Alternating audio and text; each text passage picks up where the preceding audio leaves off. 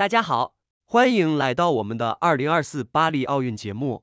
今天我们要探讨的是诺亚·莱尔斯在男子一百米决赛中的惊人胜利。尽管莱尔斯在比赛初期处于劣势，甚至在三十米后仍然是最后一名，但他最终以零点零零五秒的微弱差距夺得金牌。这场比赛充满了戏剧性，从起跑的紧张等待到最后的冲刺，莱尔斯展现了超凡的意志力和专业技术。最终，尽管汤普森的脚先过了终点线，但莱尔斯以优越的前倾动作获胜，成为无可争议的男子短跑之王。请大家继续收看详细内容。亲爱的观众朋友们，欢迎收看二零二四巴黎奥运特别节目，我是您的主持人。今天我们要聚焦的是巴黎奥运会男子一百米决赛，特别是美国短跑选手的诺亚·莱尔斯如何在这场比赛中上演了一场惊心动魄的逆袭，最终赢得了金牌。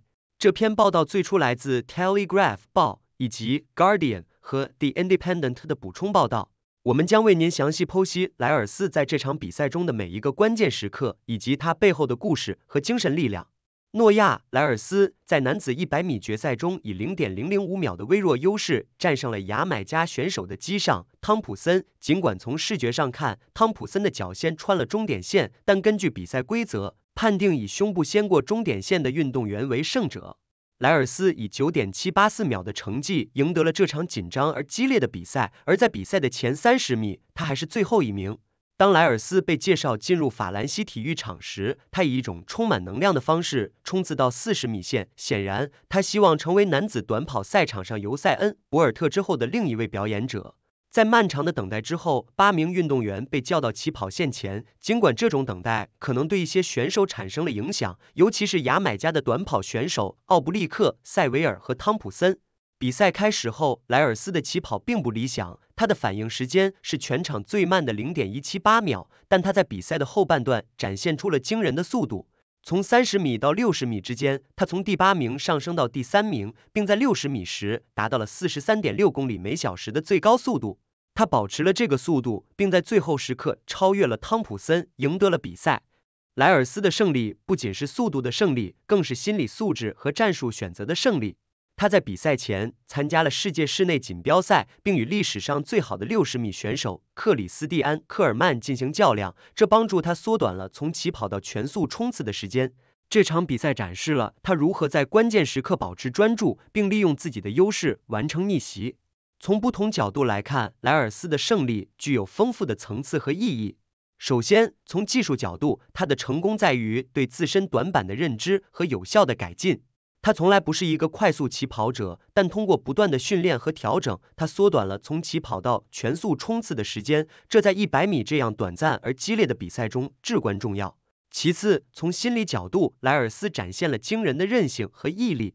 他曾在东京奥运会上仅获铜牌，并公开讨论了他与抑郁症的斗争以及抗抑郁药物的副作用，这些都对他的表现产生了影响。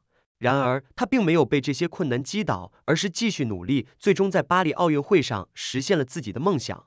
再者，从竞争环境来看，莱尔斯的胜利也标志着美国在男子短跑项目上的强势回归。自由赛恩·博尔特退役以来，男子短跑项目一直缺乏一个明确的领袖，而莱尔斯的崛起无疑为这个项目注入了新的活力和关注度。莱尔斯在比赛后表示，他一度以为汤普森取胜了，但当屏幕上显示他的名字时，他感到无比惊喜和自豪。这次胜利不仅是对他在训练和比赛中付出努力的肯定，也是他克服心理障碍、重拾自信的见证。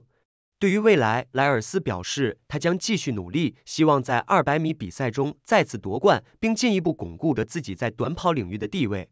他的成功故事不仅激励了无数年轻运动员，也向世界展示了在面对挑战时如何通过坚持和努力实现自己的目标。在我们的特别节目即将结束时，我想说，诺亚·莱尔斯的故事不仅仅是一个运动员的胜利，更是人类精神的胜利。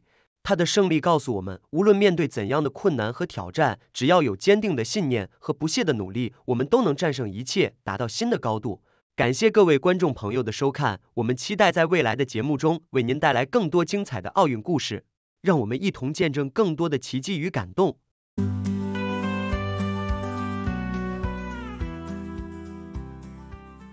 请大家继续收看节目第六度百科，对关键内容进行背景介绍。诺亚·莱尔斯 （Noah Lyles） 这位美国短跑运动员，在最近的一次奥运会男子100米决赛中，展现了他惊人的实力和毅力。尽管在比赛开始的三十米后，他还处于最后一名，但最终以微弱的优势赢得金牌。这场比赛被视为历史上最接近的一次男子一百米决赛。他的胜利是如何实现的呢？首先，莱尔斯的登场如预期般引人注目。他在进入体育场时进行了一段四十米的短跑，这个高能量的表演展示了他对比赛的热情和信心。比赛的起跑阶段对莱尔斯来说并不理想，他从未以快速起跑闻名，而这次他的起跑反应时间为零点一七八秒，是所有选手中最慢的。尽管如此，这并没有削减他的决心。在比赛的中段，莱尔斯展现了他战术上的智慧和身体的极限。他在三十米时仍然是最后一名，但随着比赛的进行，他逐渐加速，并在四十米时达到每小时四十三点五公里的速度，这比其他任何选手都快。这种速度使他在三十米到六十米之间从第八名上升到第三名，这为他最终的胜利奠定了基础。莱尔斯的终点冲刺更是令人叹为观止，在六十米时，他已经达到了每小时四十三点六公里的速度，这是一个几乎无法想象的爆发力。莱尔斯保持专注，保持放松，并没有让他未能完全领先的现实影响他的跑步姿态。最终，莱尔斯以五千分之一秒的微弱优势击败了机上汤普森，赢得金牌。这场比赛的判定标准是谁的胸部先穿过终点线。莱尔斯的前倾动作为他赢得了这场比赛，即便汤普森的脚先过了终点线。莱尔斯并非仅靠运气赢得这场比赛，他的胜利是多年训练和心理准备的结果。他在比赛前的信心满满，称自己为世界上最快的人，并且在赛后的新闻发布会上提到他的治疗师，展示了他对自己心理状态的高度重视。值得一提的是，莱尔斯在比赛前的准备非常充分。他在世界室内锦标赛上挑战克里斯蒂安·科尔曼，这次经历对他在巴黎的表现至关重要。他学会了如何缩短比赛开始到他直立出驱动阶段，并准备全速冲刺的时间。在赛后，莱尔斯表示，他一度以为汤普森击败了他，但最终当看到自己的名字出现在屏幕上时，他感受到了无比的喜悦和成就感。这次胜利对他来说不仅仅是一枚金牌，更是对他多年努力的肯定和见证。诺亚·莱尔斯的故事告诉我们，无论在比赛中面临多大的挑战，只要坚持不懈，保持专注和信心，就有可能实现看似不可能的目标。他的成功为所有人树立了一个坚持梦想、努力拼搏的榜样。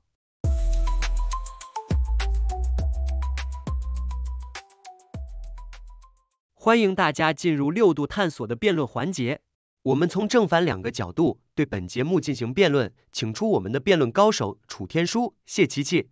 我是楚天舒，我是谢琪琪。诺亚莱尔斯赢得一百米金牌，尽管他的起跑并不出色，这真是一个令人振奋的故事。他在最后关头逆风翻盘，这种顽强的韧性真是让人敬佩。他的故事告诉我们。不管起跑多糟糕，只要保持专注和决心，任何事情都是可能的。就像龟兔赛跑中的龟一样，稳扎稳打，终能取胜。楚天舒，你说的没错，但这也说明了短跑比赛的判定标准有多荒谬。莱尔斯赢得金牌只是因为胸部先过终点线，而不是脚，这让人感觉像是魔戒里的咕噜在最后一刻夺回戒证。这也许是技术上的胜利，但确实让人觉得有些不公平。真正的速度应该体现在整个比赛过程中，而不是在最后一刻的姿势上。琪琪，你这种说法就像是在说要改变足球比赛的规则，让球员用手抱球跑。莱尔斯的胜利正是因为他完美的技术和策略，这才让他在最后一刻赢得比赛。你知道吗？短跑比赛从古希腊时代就是这样判定的，这是一个有悠久历史的传统。而且不得不说，莱尔斯的故事也激励了无数人，让他们相信在最后一刻也能够逆转局势，就像洛奇里的洛奇一样。哦，楚天舒，你可真会搬出古老的历史来支持你的观点。不过，现代科技和训练方法早已超越了古希腊时代。这就像用老式打字机来写电子邮件一样荒唐。莱尔斯的胜利是因为他在最后一秒钟的前倾，而不是由于他整个比赛的速度。这难道不让人联想到《疯狂麦克斯》里的那种想尽办法不择手段的情景吗？比赛应该更公正透明，而不是依赖于这些小技巧。琪琪。你说的这些技巧，其实正是短跑比赛的魅力所在。每一个细节，每一次呼吸，每一个动作，都可能决定胜负。这就像《哈利波特》中的魁的奇比赛，扎住金色飞贼的时刻，决定了整场比赛的结果。莱尔斯的成功不仅仅是技术的胜利，更是心态和意志力的胜利。他在面对压力和逆境时的表现。正是这个比赛最大的看点和魅力所在。楚天说，你真是爱讲故事啊！但现实是，这些小技巧让比赛变成了运气和姿势的竞赛，而不是纯粹的速度和力量的较量。想象一下，如果牙买加选手汤普森的脚先到，但因为姿势错误而输掉比赛，这对他公平吗？这就像《权力的游戏》里那些阴谋诡计，不是谁更强，而是谁更狡猾。比赛应该更简单直接，用最快的方式来决定谁是真正的冠军。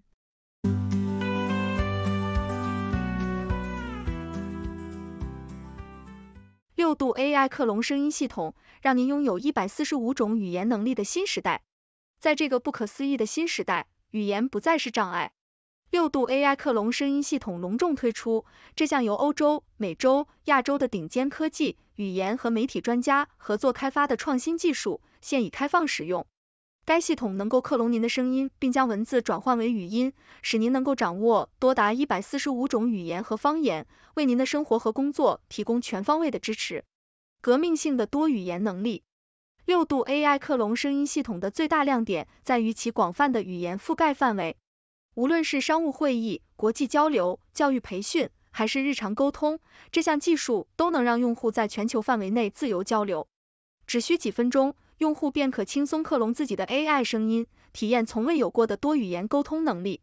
简单便捷的使用体验，使用六度 AI 克隆声音系统非常简单，无需任何专业设备，也不需要学习复杂的技术知识，用户只需进行简单的操作。即可完成声音克隆过程，并将其应用于各种场景。无论您身处何地，都能通过这项技术突破语言障碍，实现高效沟通。广泛的应用场景，这项技术的应用范围广泛，从商业到教育，从媒体到娱乐，都能发挥重要作用。对于企业来说，这意味着可以更好的与全球客户和合作伙伴沟通。对于教育机构，这可以帮助学生更好的学习多种语言。对于媒体和娱乐行业，这将带来全新的内容创作方式。立即体验六度 AI 克隆声音系统现已上线，欢迎访问以下链接进行体验。六度 AI 克隆声音系统 https 六度 world tts。立即登录，体验这项改变未来的创新技术，让您的声音在全球范围内响起。谢谢大家收看六度探索。这是一个由科学家、经济学家、媒体人、工程技术人员合作建立的新型媒体。网友与六度 AI 参与合作完成各种内容，这些内容不能作为任何决策或法律的意见。这是一个新型的试验性媒体方式，我们希望得到大家的支持，修正错误。网友可以参与讨论，也可以向万能的六博士提出你能想出的任何问题。六度世界网址是六 do world，请介绍给你的亲朋好友。